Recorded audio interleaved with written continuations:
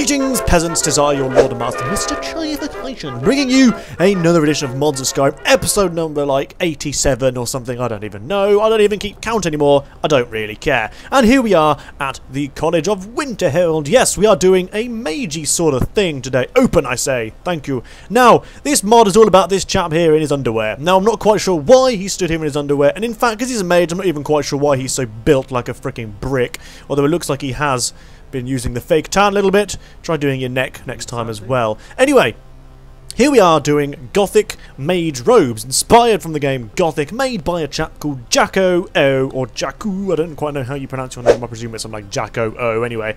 That's not a zero on your name, I'm pretty sure. Anyway, you need to go to this chap and you can purchase said items from him. Now, his name is Fire Mage, oh, Pyrokar.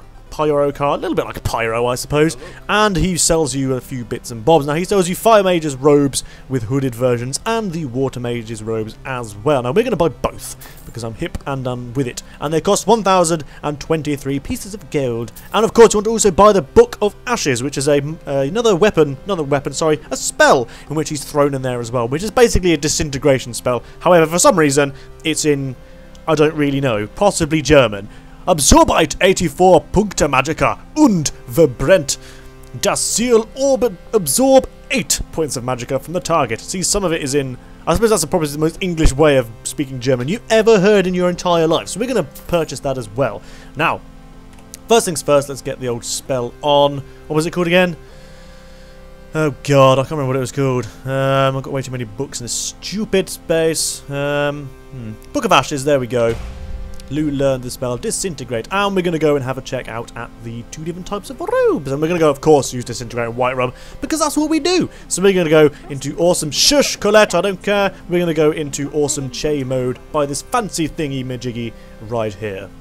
No, I'm not wearing shoes for some reason, so here we are. Here is the Mage's Fire Magey type robe. Now, I don't know what the blue one looks like, but I imagine it's pretty much the same, just in blue, but I will show that anyway. So here we go. Here it is. This is your new robe. Lots of, like, studdiness down the middle, a nice big chock-off belt, and, of course, a fire symbol right in the middle there. Well, the usual fire symbol right in the middle there. As you go up, you get more of the funky studdiness to some huge-ass shoulder pads, because, uh, for some reason, mages enjoy shoulder pads. I don't quite know why, but we do. And, of course, a big red hood to go with it. And some funky... I'm pretty sure that's an Amulet of Arkay, even though I'm not actually wearing an Amulet of Arkay. It's an Amulet of something on the back. Now, the back is pretty much the same, so we're going to not really bother going around there. And we're going to have a look at the, uh, the blue version of the robes. Okay, no, they are nothing alike. In fact, I think I prefer the blue version of the robes. It looks a bit more magey, in my opinion. I think I actually prefer the blue version of the robes. Oh, well, anyway, so here's the blue version of the robes, as I keep saying. And we have a nice big belt with greenery, greenery all over it. And nice, lots of blueness. I'd like to see some other colours of uh, robes, actually. I'd like to see quite a dark colour, maybe a necromancer version or something like that.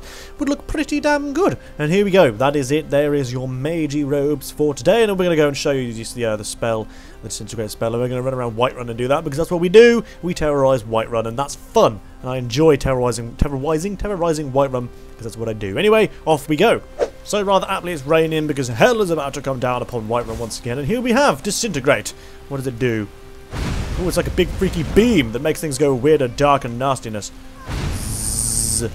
Ooh, cool. I quite like this. Oh, it continues through people. So this, this beam goes on, for as far as I'm aware, forever. It's just like a, an ongoing beam of epicosity. And we can pick off people from a distance if we so... Oh, hang on. Is that hurting him? I can't quite tell. It is, I think. Yeah. Now, it does go very dark when you use this. I'm not quite sure if that's a, a, reason or not, but who really cares? It's fun to terrorise Whiterun and all of its useless inhabitants who nobody likes. Once again, we need to go murder the annoying preacher. Shut up. Oh, it's Belethor! Excellent! I always like killing that man. Where is he? There he is. Hello, annoying hype skier. Be gone with your Whiterun go. Oh God, they're trying to kill me. Oh, I know. Oh, check out that backflip. Yeah, check out that backflip. Anyway, guys, it's been there for a while. That was the video for today. Don't forget to rate, comment, and subscribe. And the word of the day is backflip. Excellent. Anyway, guys, it's been there for a while. I hope you enjoyed the video. Toodle freaking. Ooh.